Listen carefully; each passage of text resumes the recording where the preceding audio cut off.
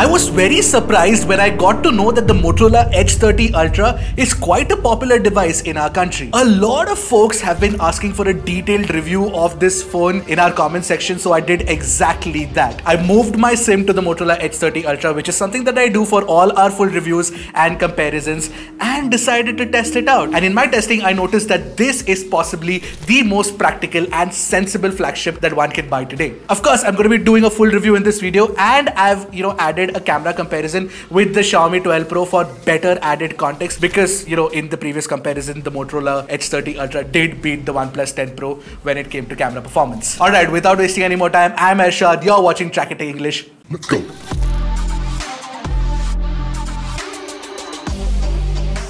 Now, I'm not going to spend too much time on the design of the phone. I've spoken at length in my hands-on video and of course the comparison that I did with the OnePlus 10 Pro. If you guys have missed that out, go check it out in the you know link that pops up right now. Basically, it's a very classy looking phone with Corning Gorilla Glass 5 protection on the back, on the front, and of course, um, you know, metal railing on the sides. And of course, it's curved on the front and the back as well. One thing I did notice in my time with the phone is that the metal railing is extremely thin, so it sort of bites into your hand when you're holding and using it. But otherwise, uh, you know, the weight distribution is pretty good. I'd suggest that if you do end up buying the phone, use the case that you get with the box or, you know, buy a separate case for it. I must mention that one reviewer, I can't remember who specifically spoke about the fact that there are some scuff marks forming on the, you know, outer ring of the camera module and that is happening on our device as well. So protecting the phone with a case is an absolute must. But talking about that camera module itself, I really like the step design. It looks very, very good. But that does cause a whole lot of table wobble. Now, I love making these review videos for you folks.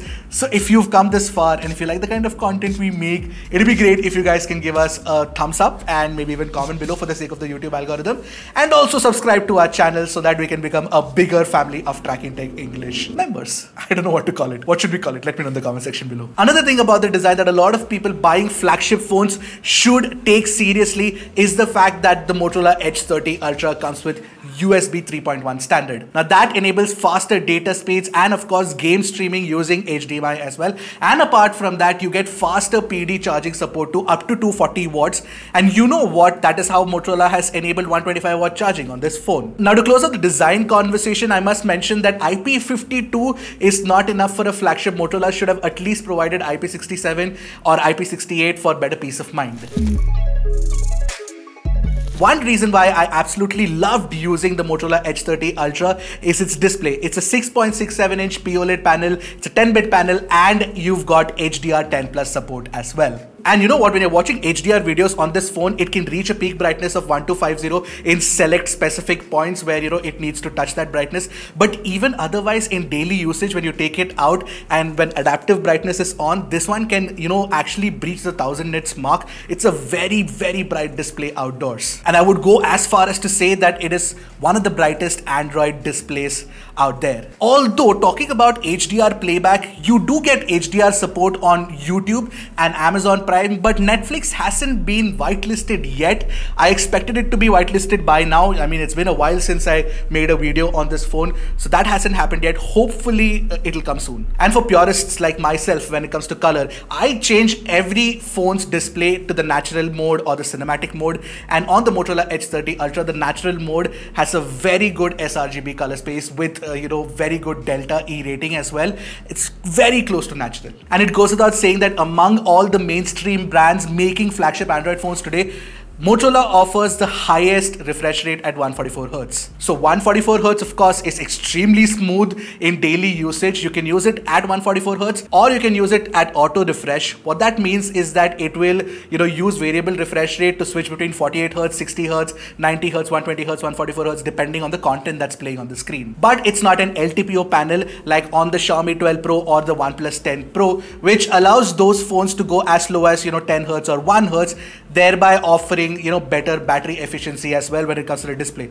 Although that doesn't really matter in the case of Motorola, and I'll tell you why when I come to the battery section of the review. And the other thing that's awesome about the display is the touch sampling rate at 576 Hz. Touch response is absolutely smooth on this phone, and you can further enhance it using game time, especially when you're gaming. So that's definitely an advantage. Now haptic feedback is tight enough, it's good enough, it's got a decent X-axis vibration motor, but I feel that you know Pixel phones do it better. Also, part of the display is the in-display fingerprint scanner. It's super fast to unlock, no complaints out there. However, I really feel that all these brands that you know place their in-display fingerprint scanners so low should understand that their phones are so big and it's not easy to do it without you know having to do hand gymnastics. Now, tying in with that display experience is you know the speakers or the audio performance that you know makes up the whole multimedia experience, and this one's obviously tuned with Dolby Atmos where you've got the earpiece working as the other channel and you've got a proper dedicated speaker at the bottom. Now, this speaker is loud enough. It's not the loudest out there but it's very dynamic. Sounds very rich and clean. You know what? Take a listen to it for yourself and in comparison with the xiaomi 12 pro let me know what you guys think in the comment section below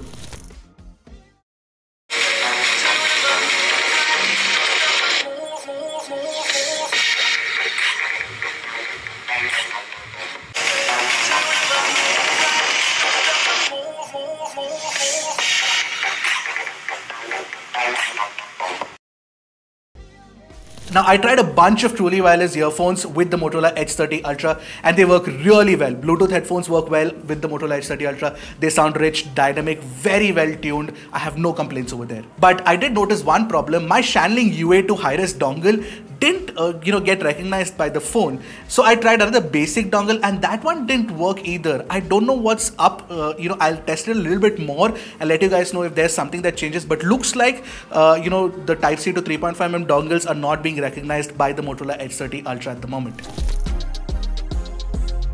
Alright, coming to the camera part of the review, you know that both these phones have fantastic camera specs. I'm not going to speak about it. There'll be a chart in front of you. Take a look at that. But the headliner on the Motorola Edge 30 Ultra is its 200 megapixel camera sensor and it's got, you know, high-res cameras even for the ultra wide, the telephoto and of course the selfie camera as well. And Xiaomi has a very basic stack, very nice stack actually if you ask me, of 350 megapixel cameras and all of them tuned very similarly. Now starting off with the detail retention on both, they are nearly identical in good light. It's not like the Edge 30 Ultra has a 200 megapixel camera, so it captures more details. Both are equally good. Now, Motorola's algorithm does ensure that you get way closer to natural looking colors. It might look muted for some, but it tries to capture the scene like my eyes saw it. Xiaomi is slightly warmer in comparison, but definitely tastefully done to make it stand out when you look at it side by side. Therefore, the Xiaomi 12 Pro's pictures might feel better suited for social media for a lot of folks because it's contrast heavy and it's also, you know, slightly warm as well. One area where the Xiaomi 12 Pro does beat the you know Motorola Edge 30 Ultra is in picking out the right white balance, especially when there's a warm scene uh, you know in question. Every image that I shot with the Motorola Edge 30 Ultra was cooler in comparison to the you know Xiaomi 12 Pro. And one area where I actually expected Xiaomi to perform better is in HDR performance, but take a look at the samples. Motorola is actually doing HDR better than Xiaomi. Now, when you're shooting friends and family with both of these phones, they do processing slightly differently. So that's something that you have to keep in mind. You get a nice, warm looking facial tone on the Xiaomi, whereas Motorola keeps it more natural. But yes, it does get the color of the black jacket that Sagar is wearing entirely wrong with a completely cool tone. This is where Moto goes for a cooler look. Against the light, however, both offer good dynamic range. I'd say both are equally good for pictures of friends and family, but some might prefer the Xiaomi 12 Pro. I have an inkling. If you do prefer prefer the Xiaomi 12 Pro? Let me know in the comment section below. Now portraits on the other hand on the Xiaomi 12 Pro have better edge detection and bokeh as well. But I like the traditional portraiture that you can achieve with the 35mm, 50mm and 85mm you know simulation, lens simulation that Motorola has on the Motorola Edge 30 Ultra. In low light shots, I went with the preconceived notion that the Xiaomi 12 Pro will invariably be better than the Motorola Edge 30 Ultra. But boy, I was so wrong and you really don't need the flash for shooting pictures. Deus. That happened naturally. I'm not even kidding. I did not write that down in the script. Anyway, I noticed that Motorola picks out more details and keeps the noise, but Xiaomi softens the details in a bit to control the noise. Technically, Motorola's approach is better as many photographers will tell you. In extreme low light, however, Xiaomi has better light sensitivity, but I wouldn't use either of these pictures, so make what you want of it. Now, I want to bring this specific image into your uh, you know consideration because if you look at it, the Motorola Edge 30 Ultra brings out more details from the statue and it exposes the statue better and even the background better than the Xiaomi 12 Pro. There there are situations where the Motorola Edge 30 Ultra does perform better than the Xiaomi 12 Pro in low light. Having said that, there are certain situations where the Motorola Edge 30 Ultra is better, sometimes the Xiaomi 12 Pro is better. But I think that the Xiaomi's faster autofocus with eye autofocus is helping create sharper looking, you know, pictures of people. But then again, I mean, I don't see that, I don't think that the Motorola is that bad at all. Now, when it comes to the 50 megapixel ultra wide angle captures, both are equally sharp, but color science consistency is better on the Xiaomi 12 Ultra. Now, this is why I was telling you that Xiaomi's idea of going for equal megapixel sensors on all the three cameras probably made it easier for them to do color science consistency better. Low light ultra wide angle detail and exposure is also equally matched on both ultra wide angle shots. But the one thing that Moto does is add macro capability with its ultra wide that is not possible on the Xiaomi 12 Pro. Now both the phones have your bare minimum 2x telephoto lens but Xiaomi has a slightly higher resolution 50 megapixel sensor but you still get 12.5 MP outputs which is 12 MP on the uh, you know Motorola Edge 30 Ultra. But both are equally sharp. It's not like the Xiaomi 12 Pro is better just because it has a higher resolution sensor. Although color sense consistency is where Xiaomi wins again. Low light 2x shots are slightly better on the Edge 30 Ultra though. Coming to selfies, that 60 megapixel selfie camera on the Motorola Edge 30 Ultra is fantastic. You get sharper pictures, you get better facial tones, just better everything. HDR2 is infinitely better. Just take a look at the difference in the pictures. Same is true for portrait selfies and low light selfies as well. Motorola's selfie game is on a different level altogether with the Edge 30 Ultra compared to the Xiaomi 12 Pro. On the flip side, the Xiaomi 12 Pro offers better video recording using its rear camera stack. You get 4K 60 FPS video recording on both with the primary camera, but Motorola drops frames at the start whenever you're shooting video. Xiaomi also shoots at a higher bitrate and with better audio quality as well. Do let me know in the comment section below what you thought about the image quality, the image stabilization and the sound recording. Do let me know in the comment section below what you thought about the image quality, the image stabilization and the sound recording. In fact, Xiaomi does one better by offering 4K 60 FPS in the ultra wide angle camera too, which is not possible on you know the Motorola Edge 30 Ultra, which tops out unfortunately at only 1080p 30 FPS. In low light using the primary camera, again Xiaomi offers better low light sensitivity in video capture. Selfie videos is a bit of a toss up. Motorola can do 4K 30 FPS and uh, you know Xiaomi can do 1080p 60 FPS. Of course, Xiaomi cannot do 4K video and Motorola cannot shoot 60 FPS video. So do you like better frame rates or do you like better resolution? Let me know in the comment section below. Having said that, Xiaomi sound recording is definitely better than the Motorola Edge 30 Ultra. So frame rates versus resolution. I think 30 FPS is good enough for front camera. Do let me know in the comments below what you think about the stabilization, the picture quality. So frame rates versus resolution. I think 30 FPS is good enough for front camera. Do let me know in the comments below what you think about the stabilization, the picture quality. Overall, both the phones have their own pluses and minuses when it comes to camera. So you have to figure out what is your use case. Now, if you want great selfies, if you want sharp textures, if you want good low light shots and great HDR, the Motorola Edge 30 Ultra is the way to go. But if you want better video recording, if you want better color sense consistency across the different cameras, and if you want, uh, you know, a phone that can take slightly better pictures with better portraits as well, the Xiaomi 12 Pro is the way to go.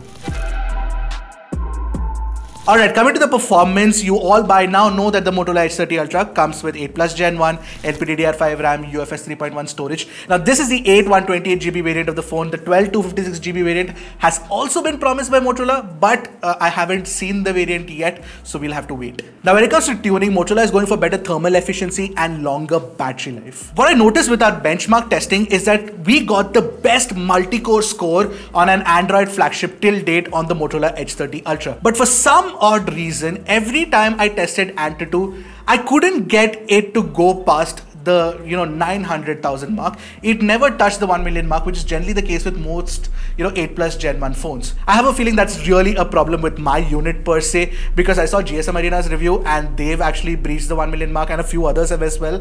So I think that there's a problem with my unit. But more than those benchmark numbers, what I care about is the throttling performance and of course uh, you know whether it heats up in daily usage. In a CPU throttle test, I got a CPU stability of uh, you know 70% and on the 3D Mark Wild Life test test, I got 65.3%. Now, this is definitely not the best numbers when it comes to Snapdragon 8 Plus Gen 1, but when compared to 8 Gen 1, it is definitely better. But what I see is that it's a trend that Motorola is not pushing for performance per se, but you know, trying to maintain a right balance of performance and efficiency. Because what I noticed in my gaming, uh, you know, session, I ran Apex Legends for 25 minutes straight, and the phone didn't heat up at all. It didn't cross 40 degrees at all, which is fantastic. And apart from that, very few frame drops as well. Now, for someone like me who games for maximum 30 minutes, two sessions of Apex Legends at stretch, it's absolutely fine. But if you're a gamer who's going to be playing continuously hours and hours, then maybe the Motorola Edge 30 Ultra won't be for you. But I still like the performance balance out here. And why I like the performance balance out here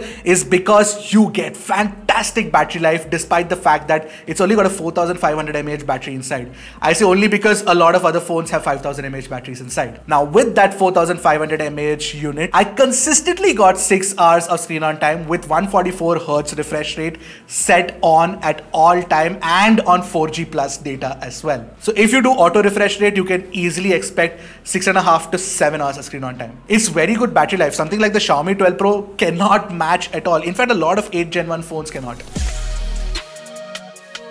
Did we ever expect Motorola to do 125 watt charging speeds? No, right? I mean, but yeah, I mean, Motorola is doing it now. And with 125 watt, it's not giving you that, you know, entire 125 watt speeds that you can expect. It's still being very conservative. So it took me about 28 to 30 minutes to charge from 0 to 100%. Still pretty fast. I'm okay with that. You also do get wireless charging for what it is worth and reverse wireless charging as well. And Motorola also has a couple of extra options in the battery settings for overcharge protection and optimized charging. All of this, you know, helps with battery longevity. Now talking about wireless charging, Motorola supports 50 watt uh, wireless charging using the turbo power charger, but I didn't see the turbo power wireless charger listed anywhere, so I don't think it's available at the moment for you to buy. Anyway, when it comes to the battery performance, the battery life, the battery charging, I like the fact that Motorola has left no stone unturned. Alright, network wise, I got consistent 4G plus on the Motorola Edge 30 Ultra.